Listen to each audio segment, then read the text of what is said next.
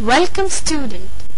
In this session we will learn how to prove Pythagorean theorem.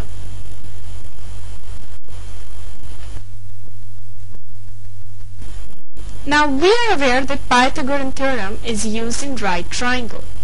So let's first of all look at right triangle. It is basically a triangle having one of its angles as 90 degree. For example, in this triangle ABC, angle A is right angle, so we can say that triangle ABC is a right triangle.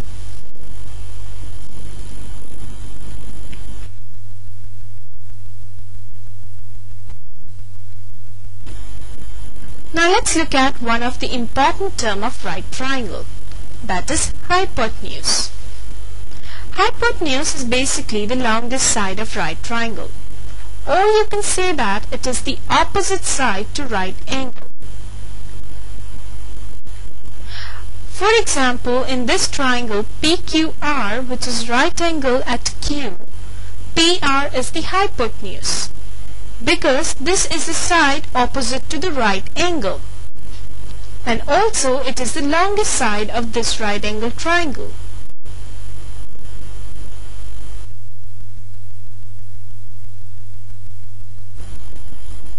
Now before proving Pythagorean theorem, let's look at the definition of Pythagorean theorem. Pythagorean theorem states that in a right angle triangle, square of the hypotenuse, that is the longest side, is equals to the sum of the square of other two sides. For example, in triangle ABC, which is a right triangle at angle A, AC is the hypotenuse while AB and BC are the remaining two sides. So according to the Pythagorean theorem, we can say that AB square plus BC square is equals to AC square. Now in the figure, it is known that AB equals to A, BC equals to B, and AC equals to C. So we can write down this in another way as A square plus B square is equals to C square.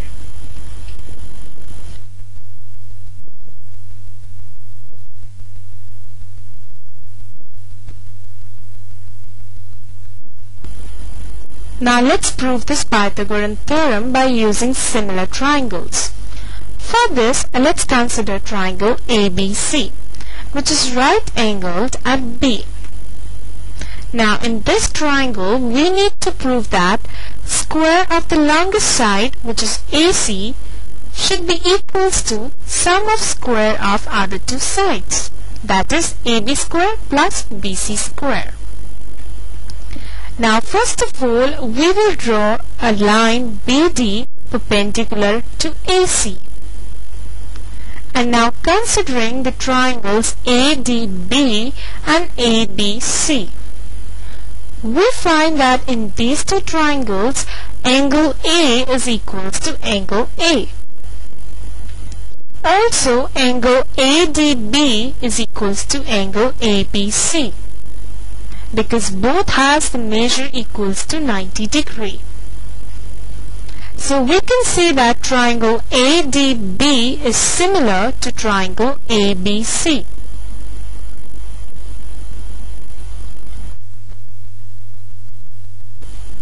Now after proving triangle ADB and ABC similar, we know that sides AD over AB is equals to AB over AC. From here we can say that AB square equals to AD times AC by doing cross multiplication. Similarly, we know that triangle BDC is similar to triangle ABC. So that means CD over BC is equals to BC over AC. Again, by cross multiplying, we reach BC square equals to CD times AC. Now let's start with AB square plus BC square. Now we know that AB square equals to AD times AC and BC square equals to CD times AC, which we have already proved. So now simply plug in AB square equals to AD times AC and BC square equals to CD times AC in AB square plus BC square. We get AD times AC plus CD times AC. Now taking out AC common, we get AC times AD plus CD. Now we know that AD plus CD will simply give AC. So AC times AC will give us AC square, which we require. So this is the proof of Pythagorean theorem. That is, AB square plus BC square equals to AC square.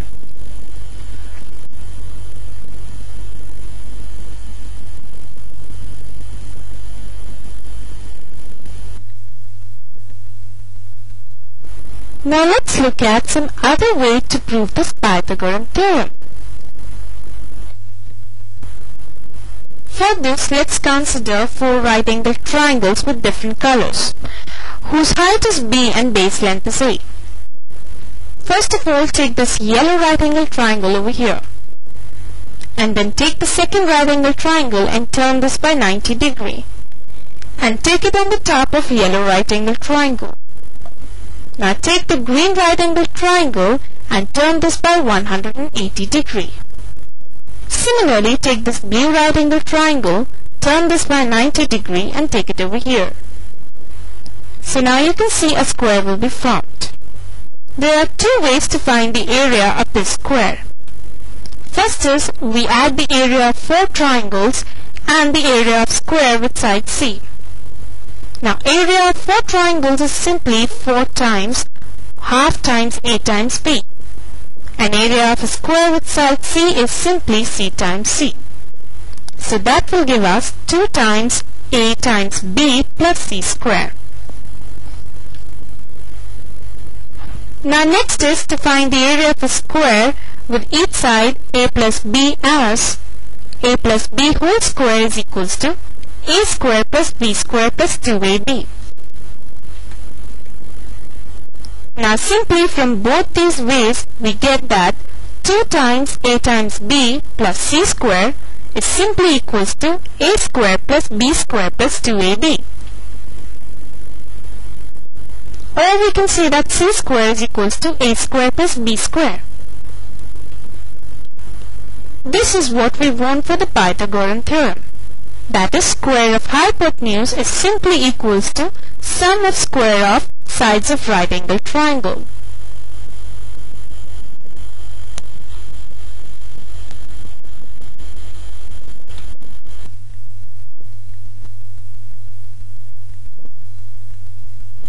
With this, we come to the end of this session. Hope you have understood the proof of Pythagorean theorem. Goodbye and have a nice time.